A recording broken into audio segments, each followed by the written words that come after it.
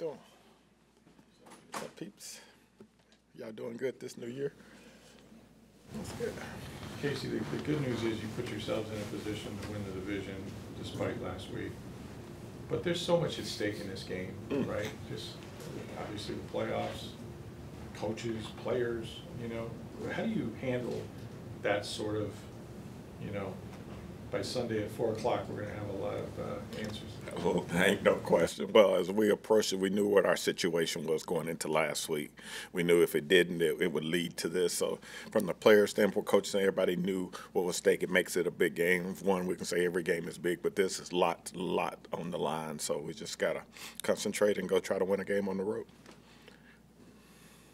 What do you take from the, the first Panthers game? Obviously, the rain kind of made it a weird game, at least for a half. But Right. to know how close they played to you guys and, and what you need to do to, to have more separation. Well, the thing we look back, uh, like for us last to our game, I think they had like 34 rushing attempts against us. Now, maybe the weather had something to do with it, but it was also the week of their coaching change and this and that, and they made a point to run the ball. So we got a lot of runs. And last week against Jacksonville, they were only able to run it 15 times. So you are, you're juggling between what we're gonna get, which I think they give us a good dose of the run, based on weight, and they do a pretty good job in the running game. So that's, but you got to be ready for everything this game.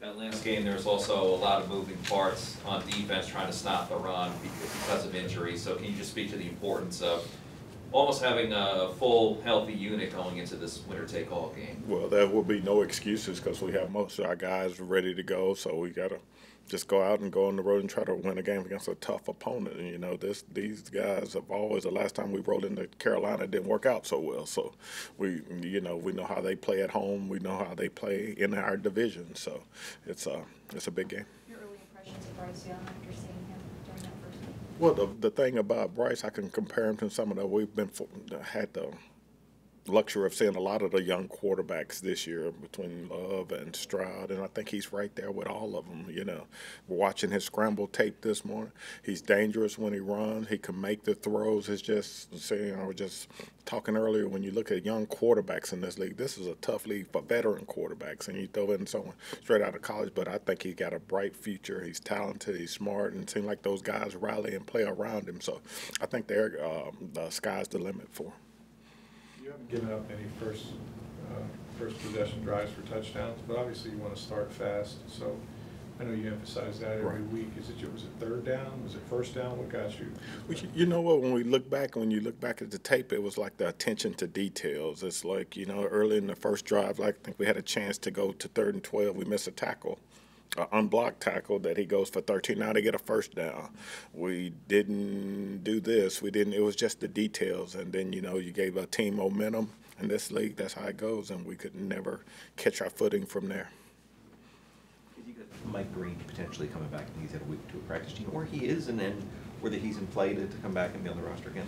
As of as of right now, Mike is still going. Started came back and is going through practice right now. We'll just have to wait and see how it goes closer to that. It seems like the details were kind of seen maybe on both sides of the ball, if that would be a fair assessment, and if so, what do you think maybe caused that? Because it seemed like guys were pretty locked in for that, that three game, or that four game win streak. Well, I can't speak for the other side of the ball because I had my own problems. So, so, so uh, no, I just know is when we watched it defensively, we felt like it was uh, attention to detail. This guys, it wasn't a lack of effort, Anything, just attention to details in this league. If you off just a little bit, it's not it's not going to be good, and we were off a little bit. Coach, Coach Bowles also had said, um, felt like everybody collectively was in like kind of a daze in the first quarter, and by then, the bleeding, you know, had kind of started, and Right. it's really tough to stop it at that point. Um, do you, do you kind of have any sense of maybe what, what would cause that? No, it's just like we look back in, in this league. It's just we like to say the whole at any given Sunday, and it just just wasn't our day. You look back at some of the games. If you kind of we kind of look charted and look back through our season, we got a lot of one score games where I thought, well, we were competitive. We didn't come out the way we wanted, but we're competitive. This and that. And for whatever reason, we just didn't get it going that day. And I hate to say it, but it happens sometimes. We just got to guard to make sure it doesn't happen again. You can't control the process of Pro Bowls and how they vote, but Yeah. have you seen a guy have a better year than Antoine Winfield Jr. and not get on that team? And I've been around. I've been blessed to be in this league for a few years, and I've been around a lot of good safeties. But he's going to be right there. And I'm saying, from my standpoint, this guy should be up for All Pro. This guy should be in the conversation for defensive MVP, and he don't make the Pro Bowl. That you know, we don't get to decide that, but we know what he means to us and everything. And he does it week in and week out. You can't say he disappeared this game. This guy won. Was a true soldier, and of- I just my hat goes off to him, and I and honestly think it is a travesty. Do you think the reason was? I, I, I have no idea because you know you can see how our opponents attack us. They go come off the field and on the sideline.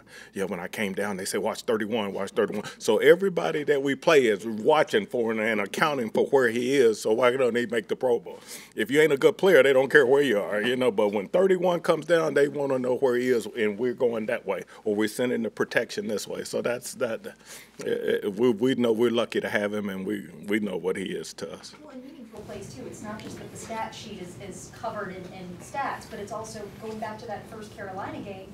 I mean, he, he made that incredible play at the end there, that interception that saved the game for. We were just looking at it this morning in my group. They had the ball with four minutes to go in the game, going down to the, either tie it up or win the game. And the interception that he made, they were throwing a takeoff route, and he took it. uh, You know what I'm saying? Calijah got the hit, and he made the interception. We were just looking at it and just like.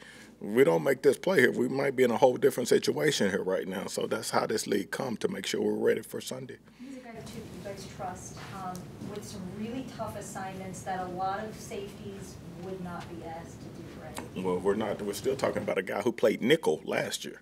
Now we about to say, look at all the jobs we have asked him to do, from nickel to safety to this to free to down in the box. The things we ask him to do, to blitz, to cover, to pick up this, and he's just a soldier. Just I, I couldn't say enough about him. And I've been fortunate enough to been some- around some really good safeties and Hall of Famers when I was in doubt.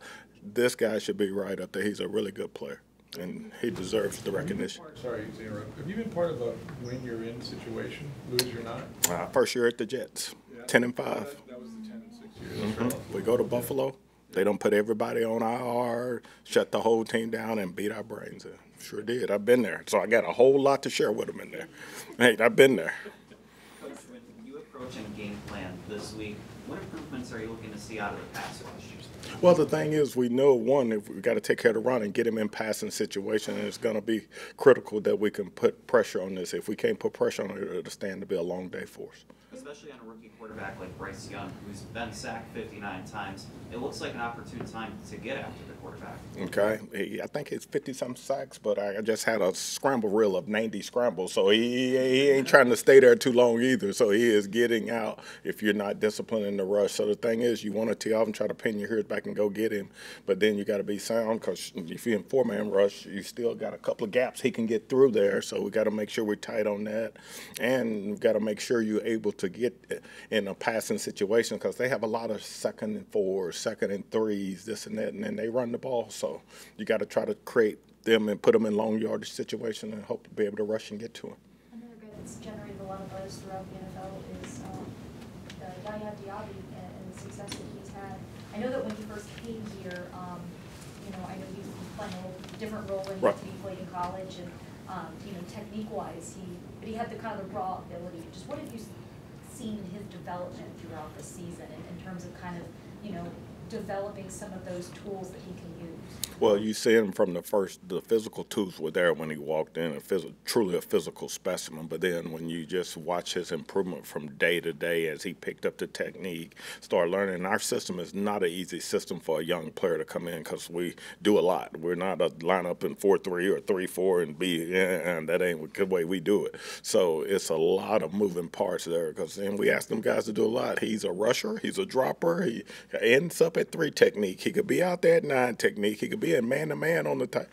We have a whole lot of moving parts there. So to see where he was able to grasp the system and still be a productive player, that's just this kid has a bright, bright future ahead of him. Kacy, I know it's been a tough year for Shaq on and off the field. A half sacks is not necessarily what he's about, but how Right. much did you miss him last week? And just, you know, what has he brought to you aside from just sheer numbers when he's out there? Well, the one, you know, all Shaq has been through with injuries, then his offseason, the, the, it's just one, I take, we take our hat off to him for what he was able to accomplish, just to be able to make it back for us this season. But when you look at that, and you guys probably wasn't privy to before our game last week, you look out there, he is sprinting over there with the trainers to try to get to the game. You know what I'm saying? Really, some guys, I've been around a lot of guys, hey, I'm off this week. No, he was out there sprinting, coming off a groin to see if he could make it to the game. I've been around some guys that, hey, y'all got it this week, but not him. It just shows what kind of guy he is. And, you know, even going in, he's, I'm going to do everything. I'm going to be back next week. You know what I'm saying? That's what you want. Then all our young players look up to that, and he's great with the young guys. And then he's just a tremendous human being and a good football player. Coach, when you talk Last about- question, please. When you talk about bright futures, uh, obviously there's Yaya Diaby, but also Calijah Kancey. What do you think is the next step for him in growing as an NFL player? Well, just keep ke- just keep maturing their thing coming in, coming from college. These guys have to adjust to the strength level of these guys you playing against. Some of these guards here, these are what we call full grown men, and you know as they adjust to this, and some of the stuff that worked in college don't necessarily work here. So you hear as he adjusts his game and figure out what he can do, and this the sky's the limit for him because he's a one, a joy to coach and very coachable. If you do, you ask him, tell him to do something, he'll try to fix it right away. So be continue to be coachable, and his ability will just take over from there. Thank you. Thank you. Y'all have a good. Thank you.